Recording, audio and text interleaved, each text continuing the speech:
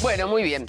Eh, desde hace ya dos o tres semanas ha empezado una información que muchas veces a ustedes y a mí mm, nos confundió. No entendíamos de qué se trataba.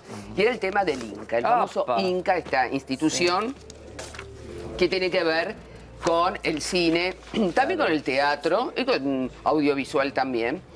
Y se armó un bolón que los actores, entonces nadie, todos decíamos, pero ¿cuál es el tema? No se entiende. Vamos a poner eh, un, un informe Sí. y después vamos a tener eh, un colega muy destacado sobre el tema y nos va a sacar todo ese velo de dudas eh, que tenemos sobre este tema, porque es muy importante que todo, y muy interesante, lo sepamos. Vamos. El conflicto del Inca se desató cuando el ministro de Cultura, Pablo Beluto, decidió remover de su cargo a Alejandro Caseta, presidente de la entidad. El gobierno sostiene que es en búsqueda de transparencia. Mientras tanto, muchos actores denunciaron un intento de vaciamiento del Fondo de Fomento y del Cine Nacional. Yo tengo fe, yo creo en el amor. Yo tengo fe, también mucha ilusión.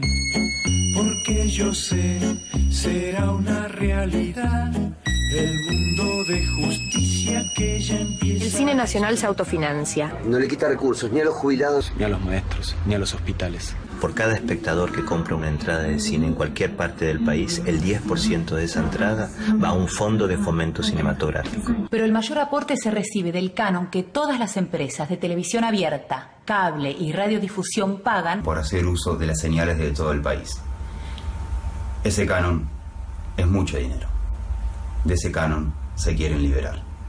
La semana pasada nuestro Instituto de Cine pasó a ser un organismo intervenido. La destitución del presidente del Inca es una cortina de humo que esconde una operación. Detrás de esa cortina de humo mediática están los fondos del cine. El Instituto Nacional de Cinematografía no es de la industria cinematográfica, es para apoyar a la industria cinematográfica, pero es del Estado, es de todos los argentinos. Yo estoy un poquito inquieto y quiero saber si usted y sus muchachos se van a meter con el Inca y con la ley de cine. Y no me venga a decir, esta te la debo, porque yo quiero saber qué piensan hacer de verdad. Quizás en un sentido, espero que no se enojen mis colegas conmigo por lo que voy a decir, hubo como un énfasis, algo de sobreactuación por parte del sector. Pero como digo, es comprensible. Estoy alineado con el resto de mis colegas en el sentido de que el fomento del cine proviene, lo tenemos ya muy claro, de esos cánones de los que tanto se habla con respecto a las empresas este, que, que necesariamente por ley tienen que participar y de ese famoso 10% de, de la entrada. Ese es el fomento del cine. Si eso desaparece, va a desaparecer el cine argentino. Todas las iniciativas destinadas a que el instituto sea más transparente, a que sea transparente, es como estar medio embarazado, ser más transparente, es que sea realmente transparente, que todos podamos verificar a dónde van los recursos públicos. ¿Qué están queriendo? ¿Quedarse con el canon? ¿Quedarse con el 10% de las entradas? ¿Qué van a hacer con eso? ¿Se las van a regalar a las multinacionales? Me puse mal porque esta forma de operar eh, eh, no es nueva ni en este gobierno ni en el anterior y es una forma de hacer política cobarde. Esto ya empezando por ahí. ¡Qué bien, señores! ¡Qué bueno lo que están haciendo por la cultura argentina! Respete lo nacional, amemos lo nacional y no se encandile tanto con la reina de Holanda, porque acá tenemos nueve reinas y una hermosa luna de Avellaneda. Yo tengo fe, los hombres cantarán. The official story. Yo tengo fe. El secreto de sus ojos. The Secret in Their Eyes. Argentina. Ella empieza a despertar. Compañeros, amigos, colegas que están muy nerviosos con ese tema porque están muy, muy ligados al Inca y con muchos intereses ahí de, de todo tipo y están muy nerviosos y bueno, esperando respuestas un poco más concretas de parte de los funcionarios del gobierno, que esperemos que sea. Lo que me duele en realidad, me parece, es el, el hecho de que estemos juntos, más allá incluso de los posibles aciertos o desaciertos. Hay una mirada mucho más colectiva, mucho más mm, lejos del individualismo y eso es lo que molesta seguramente. Y a todos los actores con el alma chiquitita que robaron, que o que bien recibieron dádivas, revolución y lo único que hicieron fue llenar, matar a la gente de hambre. Gracias a Dios mi pueblo es inteligente, mucho más inteligente que todos ustedes. El cine argentino se autofinancia y es una fuente de orgullo para todos los argentinos. Así que Macri, Abeluto y todos los fanfarrones neoliberales, déjense de joder. No a la destrucción del cine argentino.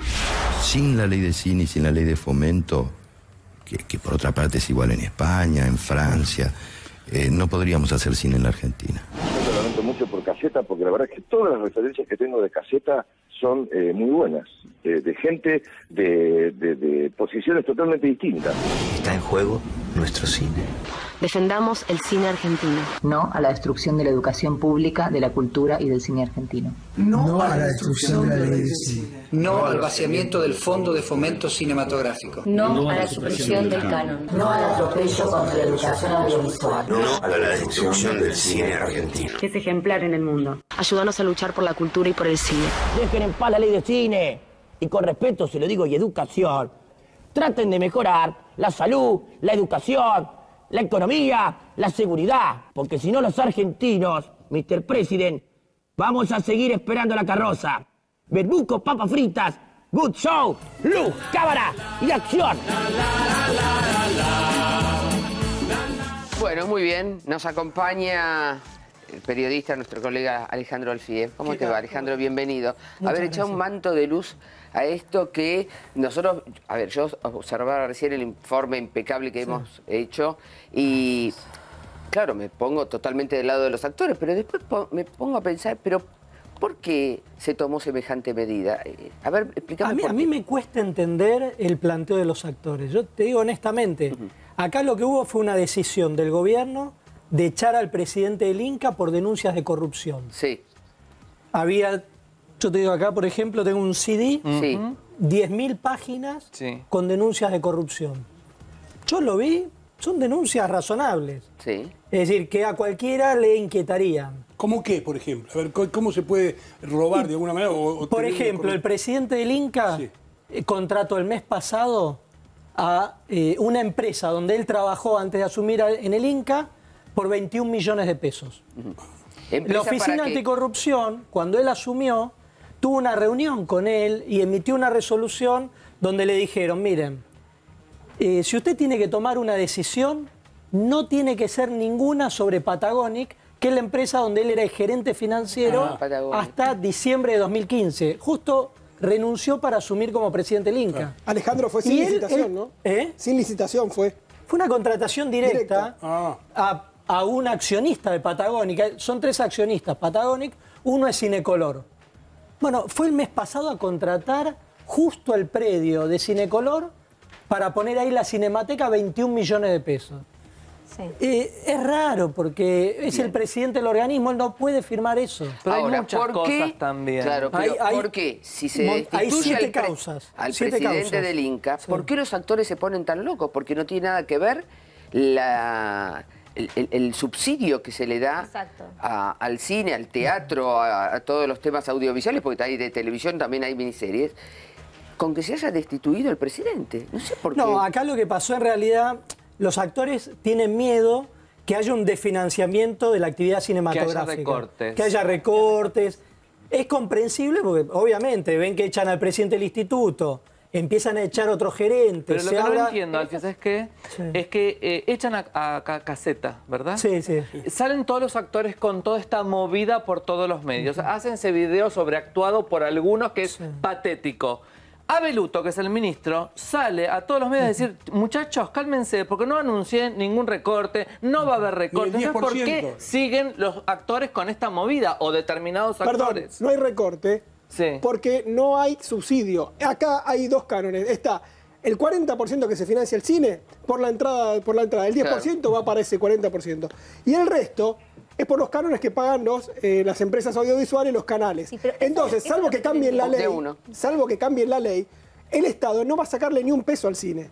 Lo que están reclamando los actores supuestamente es que nadie los llamó para discutir la nueva ley. Claro, hay un proyecto, acá hay que entender algo, que es cierto lo que dice Ari, hay un proyecto que en su momento presentó Fiel, donde decía que sería conveniente quitar ese tipo de impuestos, como lo del 10% del cine o lo que pagan los medios audiovisuales. Hay toda una discusión ahí.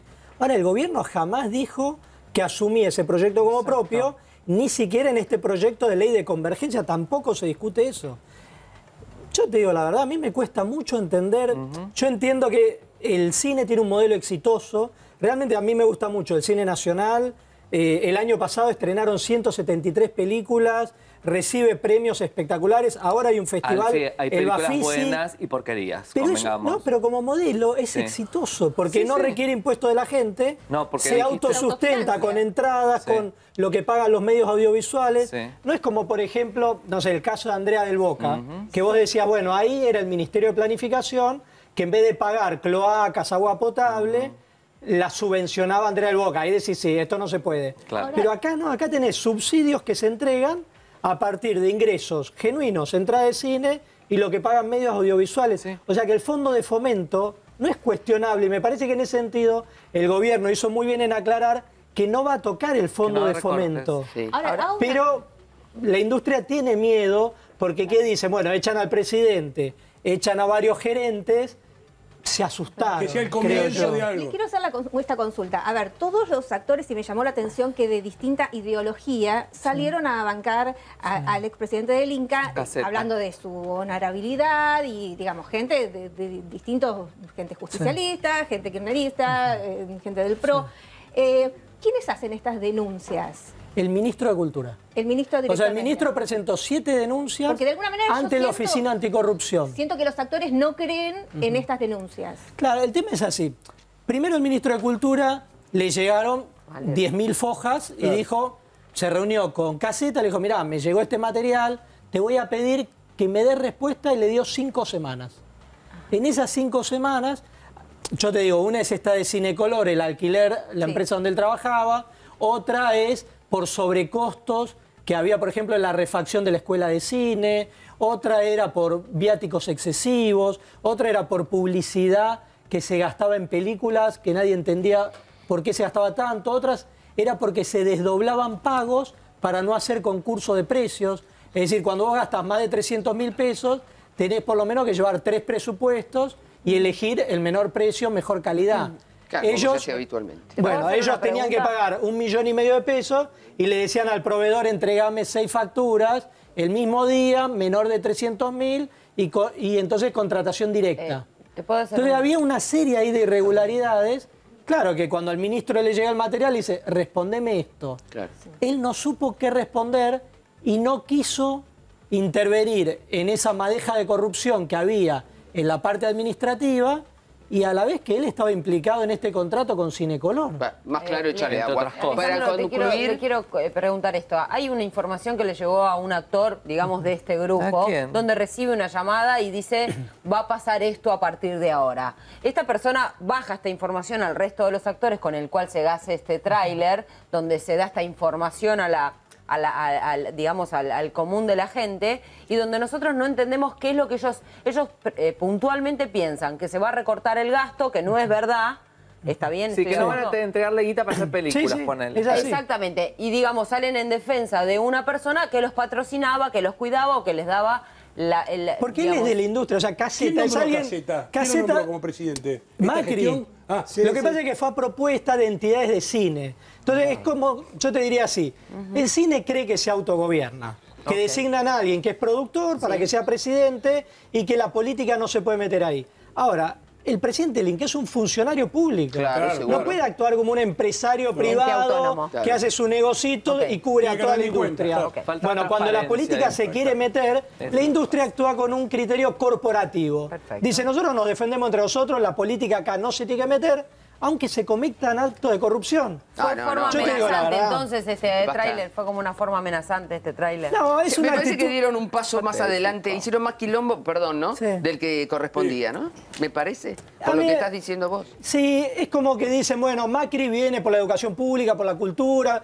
Viste, se genera una paranoia que no tiene que ver con lo que está ocurriendo. Claro. Entonces, yo lo que digo es, analicemos los hechos concretos. Hay siete denuncias, hay denuncias muy concretas, fueron presentadas en la Oficina Anticorrupción. De hecho, la Oficina Anticorrupción está ahora trabajando en el INCA para generar mecanismos de transparencia. Me parece que no. O sea, se echó al presidente del Inca, se Y pero no se va a tocar el trabajo No, no recortes. de los actores. O sea, Exacto. el trabajo en el Se sentido... mantienen los subsidios, Exactamente, los subsidios para seguir el Perfecto. cine. Exactamente. Muchachos, Se hay que hacerla más corta, hay muchos problemas. gracias, En realidad, ya está la solución. Alejandro, un placer. ¿eh? Es lo mismo, gracias. Gracias, querido.